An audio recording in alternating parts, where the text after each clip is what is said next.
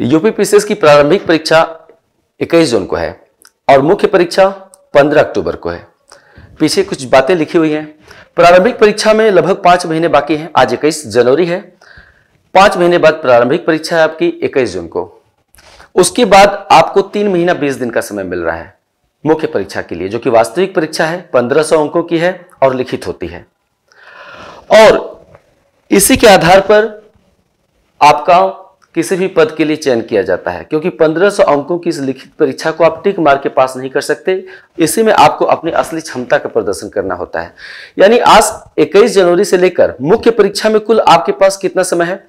आठ महीना, बीस दिन, लगभग लगभग। हाँ? अब ये आपके ऊपर है कि इस आठ महीने, बीस दिन में आप अपनी योजना और कार्यक्रम किस हिसाब से बनाते हैं? काफ़ी समय है। आठ महीना, बीस दिन का समय कम नहीं होता है। यह आपके ऊपर है कि अभी से आप अपनी सारी ऊर्जा प्रीलिम के लिए झोंक दीजिए पूरे पाँच महीने।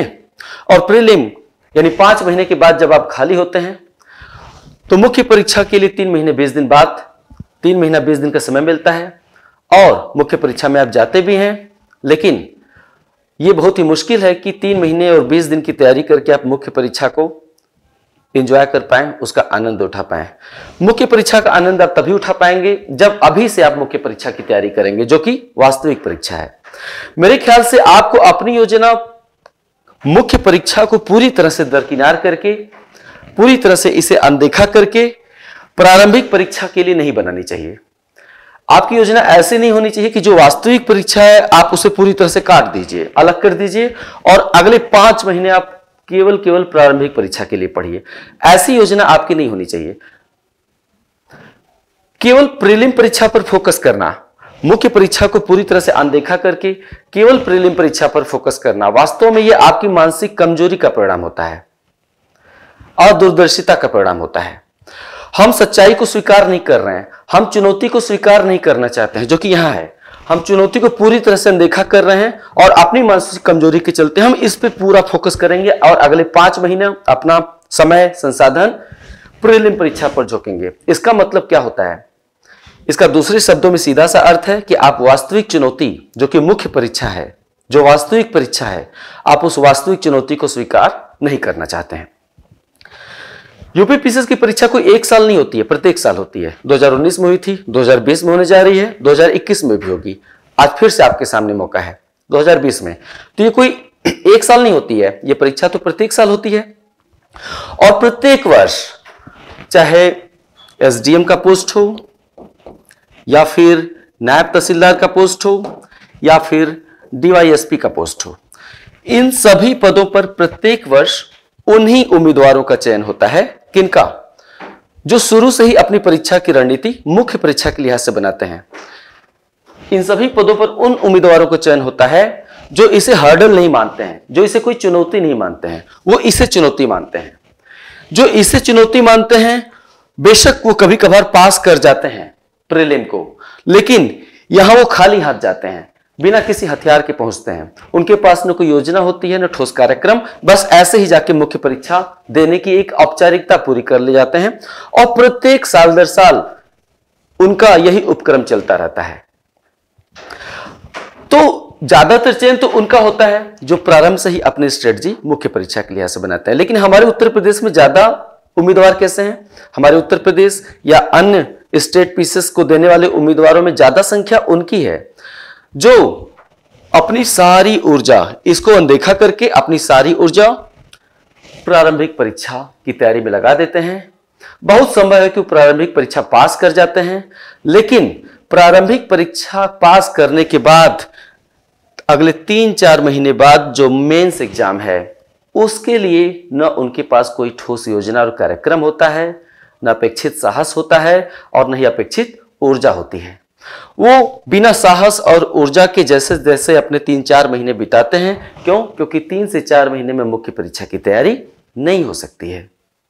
इसलिए अभी से आप सारी ऊर्जा या तो इसके लिए झोंक दीजिए और इसको सहायक मानिए। आप अगर इसको अनदेखा करके सारी ऊर्जा अपनी प्रारंभिक परीक्षा में झोंक देंगे तो उससे क्या हासिल होने वाला है? आप 2018 में भी प्रीलिम पास किए थे 2019 में भी किए थे 2019 2020 में भी करेंगे। और 2021 में भी करेंगे। चार लोगों में चर्चा हो जाएगी कि उनके लड़के ने प्रीलिम परीक्षा पास कर ली। बहुत अच्छा लगता है सुन के, पहली बार, दूसरी बार, लेकिन तीसरी, चौथी बार जब नहीं हो पाता है, मुख्य परीक्षा पास नहीं हो पाती है, तब समझ में आता है कि मैंने पिछले तीन, चार साल लगातार गलतियाँ कर दी वो अनुभव प्राप्त करने के लिए हर उम्मीदवार चार, पाँच साल अपने शुरू में लगाता है। लेकिन कितनी अच्छी बात हो कि बिना तीन, चार साल खपाए ही आप सभी इस सच्चाई को जान लीजिए कि जब तक असली परीक्षा में अपनी ऊर्जा नहीं झोंकेंगे, शुरू से। जैसे ही नोटिफिकेशन आता है प्रारंभिक परीक्षा का, आप प्रारंभिक परीक्षा में लग जाते हैं। यही नहीं करना चाहिए। नोटिफिकेशन आने के पहले ही आपको मुख्य परीक्षा में लग जाना चाहिए। मुख्य परीक्षा के साथ साथ आप प्रारंभिक परीक्षा की तैयारी में डेली दो तीन चार घंटे दे सकते हैं। यूपीपीसीएस मुख्य परीक्षा में जीएस के चारों प्रश्न पत्र अब सब्जेक्टिव हो गए हैं, यानी लिखित हो गए हैं। जीएस के आपका ऑप्शनल सब्जेक्ट अब एक हो गया है, पहले दो होता था। और जीएस के प्रश्न पत्र जहाँ पहले दो होते थे और ऑब्जेक्टिव होते थे, अब चार प्रश्न पत्र कर दिए गए हैं और चारों प्रश्न पत्र सब्जेक्टिव प्रकृति के कर दिए गए हैं। इसका मतलब क्या निकला? इसका मतलब यह निकला कि जब तक मुख्य परीक्षा के लिए आपके पास कोई ठोस योजना और कार्यक्रम नहीं होगा, ठोस तैयारी नहीं होगी, तब तक साल दर साल आप कितना भी प्रीलिम एग्ज़ाम पास कर लें, आप लिखित परीक्षा को पास कर ही नहीं सकते। बिना योजना और कार्यक्रम के आप लिखित परीक्षा को ईमानदारी से आप फेस ही नहीं कर सकते हो, आप उसका आनंद नहीं ले सकते हो। 2019 की यूपी पीसीएस परीक्षा को हम लेते हैं। 2019 की यूपी पीसीएस परीक्षा इसमें जो मेंस एग्ज़ाम था 2019 का यूपी पीसीएस परीक्षा में जो मेंस एग्ज़ाम था, वो पहला एग्ज़ाम था उत्तर प्रदेश में, जिसमें जीएस के चारों पेपर सब्जेक्टिव थे, यानी लिखने थे। जब 2019 में मुख्य परीक्षा हो रही थी तो पाया गया कि बहुत से अभ्यर्थी जो प्रीलिम एग्ज़ाम पास कर चुके थे। लेकिन वो मुख्य परीक्षा देने नहीं गए। क्यों? क्योंकि आदत वही बनी हुई थी फैक्चुअल पढ़ने की सब्जेक्ट ऑब्जेक्टिव पढ़ने की, केवल प्रीलिम के हिसाब से पढ़ने की। लेकिन अब मुख्य परीक्षा में जीएस ऑब्जेक्टिव नहीं रह गया था, अब तो लिखित हो चुका था। तो इसका परिणाम यह हुआ कि तैयारी के अभाव में बहुत सारे अभ्यर्थियों ने प्रीलिम तो पास किया, लेकिन 2019 में मुख्य परीक्षा देने ही नहीं गए। संभवतः 2019 की मुख्य परीक्षा पहली ऐसी परीक्षा थी उत्तर प्रदेश में, जिसमें सबसे ज़्यादा अनुपस्थित उम्मीदवार पाए गए थे। जरा सोचिए, अगर इन उम्मीदवारों ने जिन्होंने प्रीलिम पास किया था और मुख्य परीक्षा देने नहीं गए, अगर इन उम्मीदवारों ने अपना साल भर प्रीलिम पर फोकस करने के साथ साथ मुख्य परीक्षा को अपना मुख्य लक्ष्य बनाया होता तो क्या होता? तो इन्हें कम से कम भले ही मुख्य परीक्षा पास नहीं कर पाते, मुख्य परीक्षा को पास न कर पाना उतनी बड़ी सफलता नहीं है, जितनी बड़ी सफलता कि मुख्य परीक्षा को ईमानदारी से लिख न पाना है। अगर आप मुख्य परीक्षा को ईमानदारी से लिख रहे हैं, इसका मतलब आप सही ट्रैक पे हैं। अगर इस साल नहीं पास हुए तो अगले साल पास हो जाएँगे। क्यों? क्योंकि आपके पास मुख्य परीक्षा को ईमानदारी से लिखने का अनुभव है। जब तक मुख्य परीक्षा को ईमानदारी से नहीं लिखेंगे आप, जब तक उसका आनंद नहीं लेंगे तो पास कैसे होगा? छोड़ देना तो इस बात का पक्का प्रमाण है कि न केवल इस बार आप फेल होंगे, बल्कि अगली बार भी फेल होंगे। तो जरा सोचिए कि 2019 की मुख्य परीक्षा में जिन उम्मीदवारों ने परीक्षा भवन छोड़ा था। अगर उन्होंने एक साल प्रारंभिक परीक्षा के साथ साथ यानी शुरू से ही मुख्य परीक्षा की भी तैयारी की होती तो कम से कम क्या होता? कम से कम मुख्य परीक्षा को ईमानदारी से लिखने का अनुभव तो उन्हें प्राप्त होता, जो कि 2019 में नहीं तो 2020 में काम दिया होता। लेकिन इसका मतलब क्या निकला? इसका मतलब यह निकला कि प्रीलिम, इसका मतलब यह निकला कि प्रीलिम के फेर में पढ़कर उन्होंने अपना एक साल का समय और संसाधन बर्बाद किया। हमारे उत्तर प्रदेश में बड़ी तादाद में ऐसे अभ्यर्थी आज हैं, जो प्रत्येक साल यही काम करते हैं।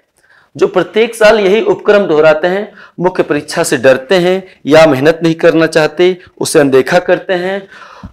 उनका प्रश्न एक ही है कि जब तक प्रीलिम नहीं पास करूँगा तो मुख्य परीक्षा की तैयारी से मुझे क्या फ़ायदा? आम मतलब आप किसी से भी बात करिए, हो सकता है आप खुद भी ऐसा मानते हो। आमतौर पे बोला जाता है कि जब मुख्य, जब प्रीलिम नहीं पास करेंगे तो मुख्य परीक्षा की तैयारी किस लिए?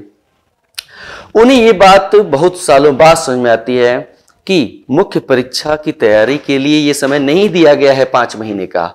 ये जो सॉरी ये पाँच महीने का जो समय दिया गया है, ये प्रीलिम की तैयारी के लिए आयोग ने नहीं दिया है। ये समय आपको आयोग ने मुख्य यानी वास्तविक परीक्षा की तैयारी के लिए दिया है। इस बात को जब तक आप नहीं समझेंगे और एक ही सवाल करेंगे कि जब तक प्रीलिम नहीं पास होगा तो मुख्य परीक्षा की तैयारी करना तो बेकूफी है नहीं, ये गलत सोच है। इससे जल्दी उबरना पड़ेगा। आपको अभी से मुख्य परीक्षा की तैयारी करनी होगी। 2020 की यूपी पीसीएस परीक्षा एक बार ठीक उसी तरह से आपके सामने जिस तरह से 2018 में थी 2020 में है 2019 में थी। फिर से 2020 में यह परीक्षा आपके सामने है। 15 जून को प्रारंभिक सॉरी 21 जून को प्रारंभिक परीक्षा है, आज से पाँच महीने बाद, और आज से आठ महीने बीस दिन बाद आपके सामने मुख्य परीक्षा है।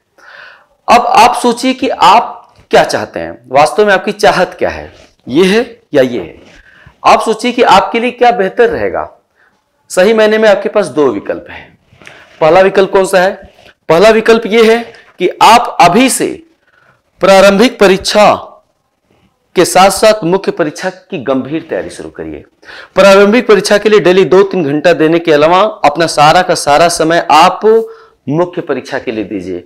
अभी से आप केवल प्रीलिम को गंभीर ना मानकर इसको गंभीर मानिए, इसको सीरियस मानिए, इसको लेकर सीरियस हो जाइए और आज से ही मुख्य परीक्षा की तैयारी में लग जाइए। डेली दो से तीन घंटा थोड़ा थोड़ा जीएस पढ़ते रहिए, आप मुख्य परीक्षा की तैयारी करेंगे तो प्रारंभिक परीक्षा की 50 परसेंट तैयारी स्वयं हो जाती है। जब आप मुख्य परीक्षा की गंभीरता से तैयारी करेंगे तो इसकी 50 परसेंट तैयारी स्वयं हो जाती है। बाकी दिन में दो से तीन घंटे आप प्रारंभिक परीक्षा के लिए अलग से फैक्चुअल किताबें या नोट्स पढ़िए। ऐसी स्थिति में क्या होगा? एक तो पहला विकल्प मैंने बताया कि 21 अच्छा इसमें पहले विकल्प में स्ट्रेटजी का एक भाग और है। 21 जून को प्रीलिम है तो आप प्रीलिम और मेंस की तैयारी कब तक करेंगे साथ साथ एक जून तक। एक जून तक आप प्रीलिम प्लस मेंस की तैयारी साथ साथ करिए। अभी से बिल्कुल अपने ऊपर विश्वास रखते हुए, भरोसा रखते हुए कि मैं प्रीलिम फेल नहीं होगा ये डर, भय से मन से निकालिए भय। तो एक जून तक आप प्री कम मेंस की तैयारी करिए साथ साथ उसके बाद एक जून से इक्कीस जून तक का समय आप पूरी तरह से प्रीलिम पर दीजिए। देखिए कि कमियाँ कहाँ रह गई हैं। घटना घटना कह रहा हूँ। घटनाक्रम एक साल के जैसे समसामयिक अध्ययन हो गया, है ना? करंट अफेयर्स हो गया उत्तर प्रदेश विशेष हो गया। उत्तर प्रदेश विशेष से प्रश्न बहुत ज़्यादा नहीं पूछे जा रहे हैं। जनसंख्या, पर्यावरण, नगरीकरण हो गया। कृषि प्रौद्योगिकी में कुछ हिस्सों से प्रश्न आते हैं। आप लास्ट के जो 20 इक्कीस दिन हैं, वो सिर्फ़ प्रीलिम पर दीजिए। लेकिन आज से लेकर एक जून तक अपना समय प्री के साथ साथ मुख्य परीक्षा पर दीजिए अपना ऑप्शनल तैयार करिए और जीएस के चारों प्रश्न पत्रों के लिए कुछ न कुछ पढ़ाई करते रहिए। अपना एक छोटा छोटा नोट्स भी बनाइए। जैसे ही आप 21 जून की प्रीलिम परीक्षा देंगे उसके बाद 22, 23, 24 जून तीन से चार दिन आप जितना आराम करना चाहें तत्काल बाद आप तीन महीना बीस दिन बाद आयोजित होने वाली मुख्य परीक्षा के लिए लग जाइए। यहाँ पर आपके पास हौसला रहेगा। हौसला किस बात का? कि हमने काफ़ी कुछ अध्ययन इस पाँच महीने में किया था। मैं बिल्कुल खाली हाथ नहीं हूँ। मैंने पाँच महीने मुख्य परीक्षा की तैयारी का अच्छा अनुभव लिया अच्छा परिश्रम किया था, इस विश्वास से लैस रहेंगे। तो ये तीन महीना, बीस दिन आपका जो मेहनत है वो निखर कर आएगा। आप बिल्कुल कच्चे नहीं रहेंगे। आप एक अनुभवी अभ्यर्थी की तरह इस तीन महीना बीस दिन को इस्तेमाल करेंगे। ज़्यादातर चीज़ें आपकी दोहराव में जाएँगी। इसमें आप आत्मविश्वास से लैस रहेंगे कि इस तीन महीना बीस दिन में एक योगी की तरह तपस्या करते हुए मैं अगर बिता दूँगा तो मुख्य परीक्षा देने का असली आनंद उठा पाऊँगा और ऐसे स्थिति में इन पदों पर मैं काबिज हो सकता हूँ। अब दूसरा विकल्प क्या है आपके सामने?